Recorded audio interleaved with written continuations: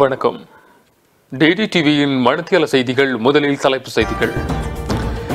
எதிர்வரும் ஜேன் ஐந்தாம் திகதி உலக சுற்றுலா தினத்தினை முன்னிட்டு பாரிய மரநடுக்க செயற்திட்டம் ஒன்றை முன்னெடுக்க உள்ளோம். வடமாகாண ஆளுநர் ரஜினி கூறே தெரிவிப்பு. சட்டவிரோதமாக சிங்கப்பூரிலிருந்து இலங்கைக்கு கொண்டு வரப்பட்ட ஒரு தொகை சிகரெட்டுகளின் ஒருவர் கைது. அமெரிக்காவில் இடம்பெற்ற தீ விபத்து ஒன்றில் சிக்கி ஐந்து குழந்தைகள் பலி. லாலிகா கால்பந்து போட்டித் தொடரில் போராடி தோல்வி அடைந்தது அணி. இனி தொடர்பான விரிவான செய்திகள்.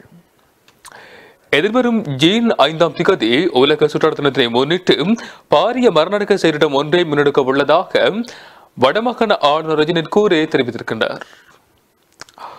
யாழ் மாநகர சபையினை பசுமை நகராக மாற்றுவது தொடர்பில் திரைக்கள அதிகாரிகளுக்கு இடையிலான கலந்துரையாடல் ஆளுநர் அலுவலகத்தில் இன்று இடம்பெற்றது.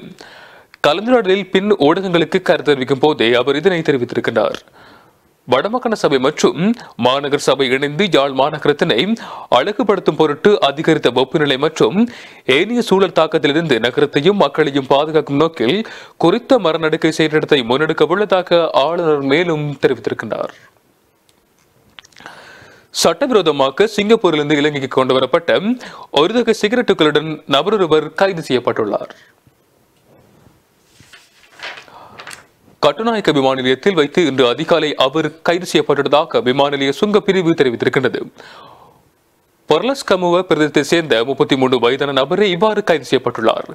கைது செய்யப்பட்ட குறித்த நபரின் பயண பையிலிருந்து பதினையாயிரத்தி நானூறு சிகரெட்டுகள் கைப்பற்றப்பட்டுள்ளதாக தெரிவிக்கப்படுகிறது இதன் பெறுமதி சுமார் ஏழரை லட்சத்தி எழுபதாயிரம் ரூபாய் என சுங்கப்பிரிவின் பதில் ஊடக பேச்சாளர் விபுல மெனுவன் பிட்டியே தெரிவித்திருக்கின்றார்.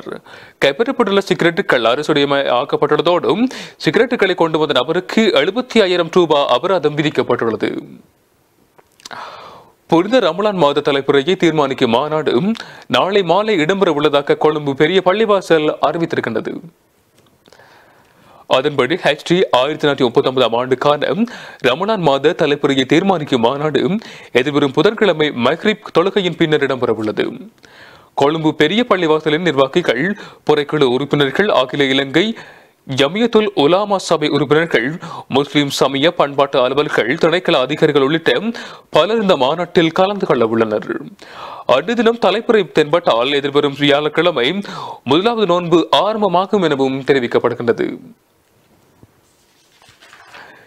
இனி தொடர்பான வெளிநாட்டு செய்திகள். அமெரிக்காவின் வடக்கு கரோலினா பகுதியில் உள்ள ஒரு வீட்டில் ஏற்பட்ட தீ விபத்தில் சிக்கி ஹாங்கோவை சேர்ந்த ஐந்து குழந்தைகள் உயிரிழந்துள்ளனர். கொங்கோவிலிருந்து அகதிகளாக அமெரிக்காவுக்கு குடிபெயர்ந்த குடும்பம் ஒன்று வடக்கு கார்லோனா பகுதியில் உள்ள ஒரு அடுக்குமாடி குடியிருப்பில் வசித்து வந்துள்ளனர். இந்த நிலையில் அவர்கள் தங்கியிருந்த வீட்டில் நேற்று அதிகாலை நான்கு மணியளவில் திடீரென தீ விபத்து ஏற்பட்டுள்ளது. எனினும் தீயணைப்பு படையினரின் உதவியுடன் தீப்பரவல் கட்டுப்பாட்டுக்குள் கொண்டு வரப்பட்டுள்ளது.